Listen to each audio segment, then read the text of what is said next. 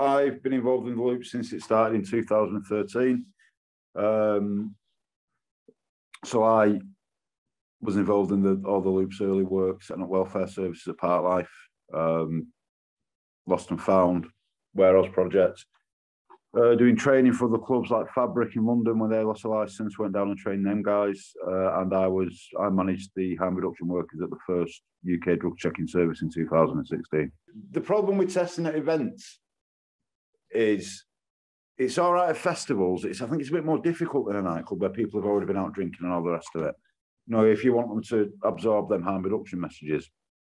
So we are looking at pushing out city centre testing which we've already piloted in Bristol and Durham, and it, and it seemed to have worked.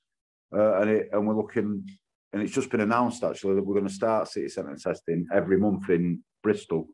And hopefully, we'll be able to take that model to other cities, and that's much more of a European model. It's much more like DIMS in Holland.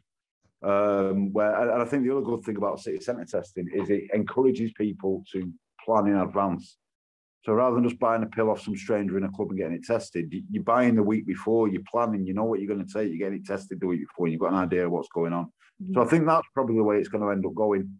In general terms, it's really important in an illegal market, people don't know what they're buying. And that's just as true for heroin and crack users as it is for ecstasy users at a festival. So, yeah, first of all, it's important to know what you're taking. You know that that that goes without saying. But I think one of the things that's been really good from doing the loop is, is that it, it's also a way of reaching out to groups of people that have never talked to health professionals about drug use before because they've not got an addiction, they've not got a problem, they're just recreational users. And so I think when we've looked at our figures, nine out of 10 people who use our services have never discussed their drug use with a healthcare professional before. Uh, and we allow them to do that. So I, I think it, in, in, terms of reaching out to underserved communities, I think there's a real bit of, bit of importance there as well people are always going to take drugs. It's just learning the importance of how to do it properly. That's why we did our Crush Dab Wait campaign back in 2016, which was all about safer MDMA dosing because we were watching people taking like a third of a gram. And that's mm. 300 milligrams. That's a lot of MDMA. Do you ever struggle to get um, venues or companies on board with your kind of drug testing? Just because I feel like some, what you know, would maybe think that by using the loop, they're kind of enabling or promoting the consumption of drugs. Yeah, absolutely. Uh, the, the places like Boomtown, Secret Garden Party, Kendal Calling, all the other festivals that have had us on site, I think have been really brave with the decisions. And I'm not going to name other organisations who've had the service offered to them who've turned it down. Uh, and they've come out with all sorts of silly excuses. Uh, but yeah, we've offered this service to other people who just said for their own reasons, no. Um, some of the bigger festivals in the country, which is why I'm not going to name them, Mm-hmm. Um, and let's hope we don't have problems when the next doing their events because potentially we can get in, in, the way of those problems happening. Uh, drug checking is just another harm reduction intervention and they're proven to work. You know, just say no doesn't work.